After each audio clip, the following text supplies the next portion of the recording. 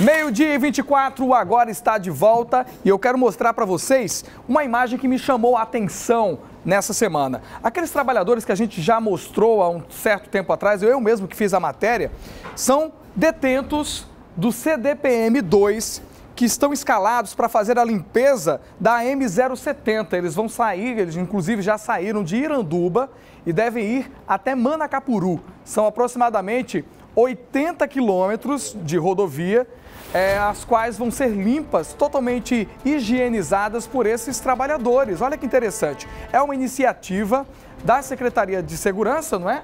Que a gente, inclusive, ainda está esperando o Luiz Marbonats ligar para a gente até agora nada, e agora eu estou falando bem deles. Ó, tá vendo?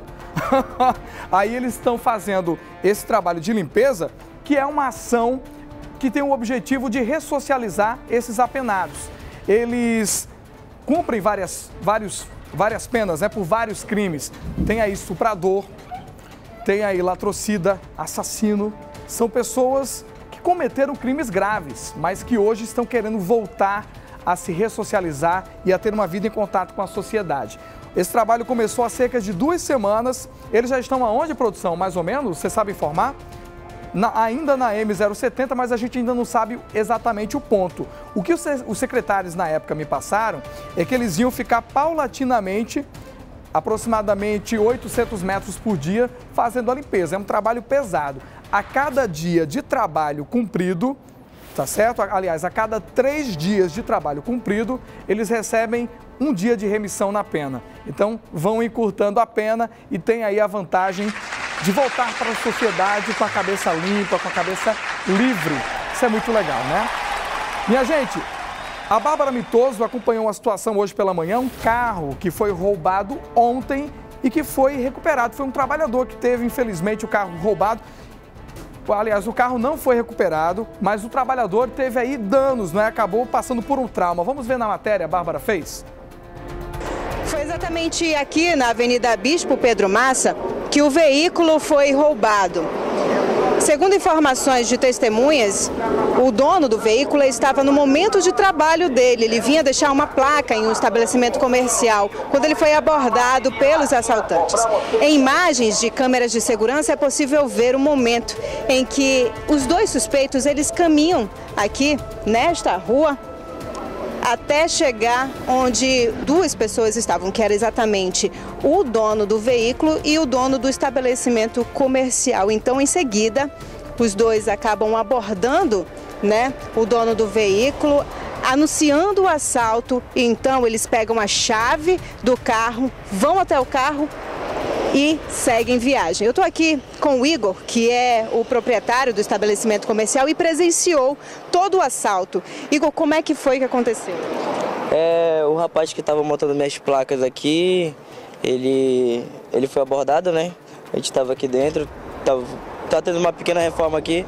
Aí a gente presenciou tudo, foi na hora que eles passaram. Aí quando eles voltaram aqui já anunciaram o assalto. A gente já tentou ir atrás ainda, só que felizmente a gente não conseguiu. E o Igor também estava me falando que constantemente acontecem assaltos aqui nessa região, né? É, pelo fato de ser o conjunto, né? Aí isso é muito frequente aqui. Até minha casa já roubaram aqui também. É, é isso mesmo. Então fica aí Alex, o sentimento de revolta, né, é, do Igor, né, proprietário do estabelecimento, também fica aí essa insegurança, né, esse sentimento de insegurança e revolta por conta dessa, desses assaltos, desse episódio que aconteceu bem em frente ao seu estabelecimento comercial. Volto com você, Alex.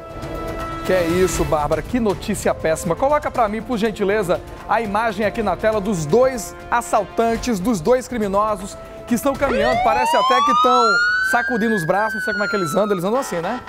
Não sei, não sei fazer não, não sei fazer não, é uma coisa assim. Aí eu quero ver a imagem deles aqui, porque dá para reconhecer perfeitamente, a imagem é muito nítida e se você conhece algum desses suspeitos, cadê a imagem? Coloca a imagem na tela, eu quero a imagem. A imagem aqui na tela, você vai ver agora, o ônibus passa e vem esses dois, são esses dois aqui, olha aqui, ó.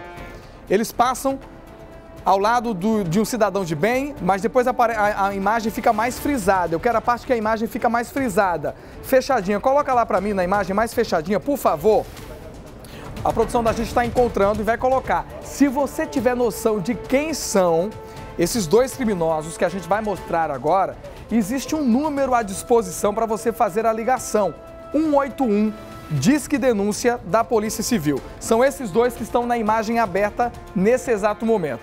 Dá para perceber perfeitamente quem são.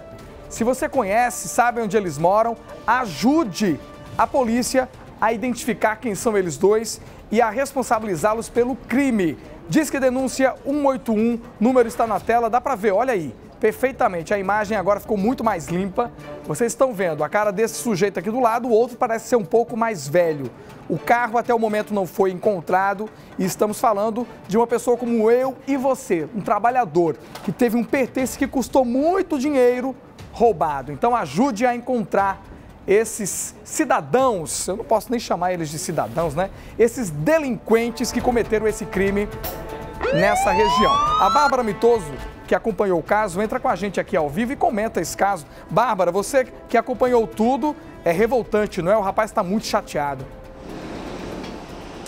Pois é, Alex, olha só, realmente é revoltante, né, toda essa situação, inclusive conversando com o proprietário do estabelecimento, é, ele disse que ele também teve o carro roubado no ano passado. E foi encontrado o carro dele só dois meses depois e ficou por isso mesmo. É, é revoltante porque a gente compra, né, o carro, compra o nosso, um bem, né, com o suor do nosso trabalho. E aí vem outra pessoa é, que se acha no direito de roubar, né, de pegar pegar para si é realmente revoltante. Inclusive, é, Alex, ali naquela área da Cidade Nova acontece muitos assaltos, quase todo dia é relatado assalto, é relatado roubo, furto, é realmente aí complicado, triste, né? Essa realidade em que a população passa não só ali na zona norte da capital, como também em todas as zonas da cidade, da nossa cidade, do nosso estado, viu, Alex? É revoltante com certeza. E esse rapaz que teve teve o carro roubado, ele estava trabalhando. Ele simplesmente ia entregar uma encomenda nesse estabelecimento comercial, quando, como foi mostrado aí as imagens, esses dois homens passam e, e acabam olhando ali uma situação oportuna, né? um momento oportuno para que eles pudessem abordar esse homem que estava é, trabalhando, né, Alex? Realmente é, é complicado mesmo essa situação, é revoltante. Volto a falar. Volto com você, Alex. Bárbara, muito obrigado mais uma vez pelas suas informações. Já deixamos o recado passado aqui. Vamos dar uma respirada, uma aliviada. Voltar aqui com Eden Viana, com a banda, essa banda maravilhosa que está hoje no Agora. E que a gente já se despede, não é? Infelizmente, gente, o nosso programa está pertinho do fim. Infelizmente, a gente tem que se despedir. Eden, se dirija aí para a nossa comunidade, para a nossa população aí. Fale aí o que você achou de estar aqui e também faça o convite, né? Quem quiser ouvir a sua música, é isso aí. Quero agradecer a oportunidade, toda a produção do programa agora, tá certo? É, eu quero também pedir para a galera de Manaus seguir a Eden Viana e Banda nas redes sociais, o Instagram da banda, Eden Viana e Banda, tá certo? E também o meu Instagram pessoal, Eden Viana Cantor, tá bom? Segue lá e você vai ficar por dentro das novidades que vão vir em Manaus.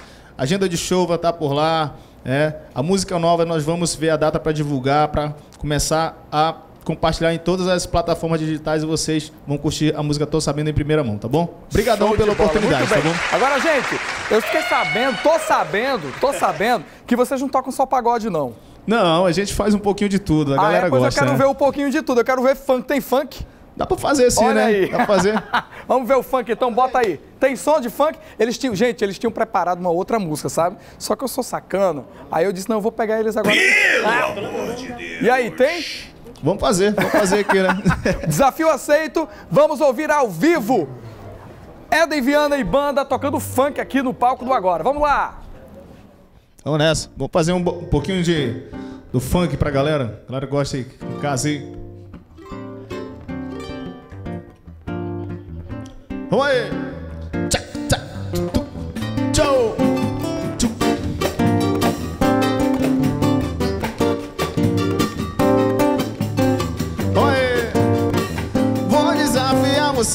Você. Diz que sabe dançar, você diz que sabe mexer. Vai ter que me provar, eu vou pagar pra ver. Você diz que não se cansa. E na balada é a rainha da dança. Vou desafiar você. Você diz que sabe dançar, você diz que sabe mexer. Vai ter que me provar, eu vou pagar pra ver Você diz que não se cansa E na balada é a rainha da dança Pede e preparar Alô, Micaela, bora tudo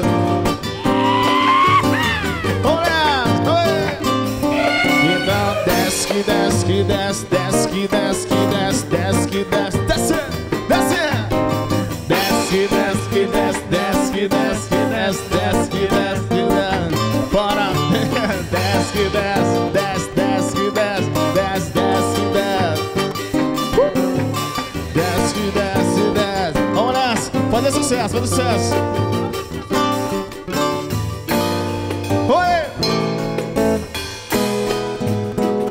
Essa aqui eu tenho certeza que a galera em casa vai cantar com a gente. Vamos nessa. A galera gosta de sertanejo. Já doeu,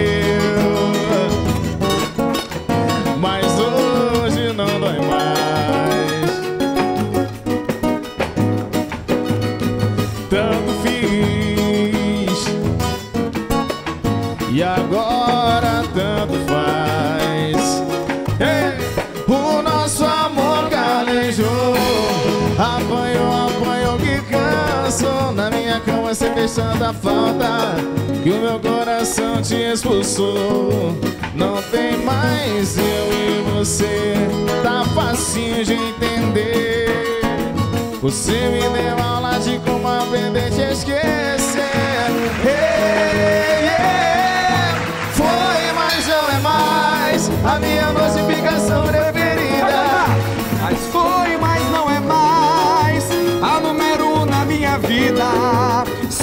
Te dizer, mas eu já superei você. Gente, vamos para o intervalo agora. Eu peguei o microfone porque a gente tem que ir para o intervalo comercial. Daqui a pouquinho agora volta com mais informação para você na tela da TV em Tempo. Obrigado, Ed Viana. Obrigado, banda. Tem mais, mais tarde, hein? É isso aí, isso mesmo. Esse fim de semana, hein? Manaus, obrigado! Valeu, programa agora! Sinto em te dizer. Eh, eh, eh. Obrigado!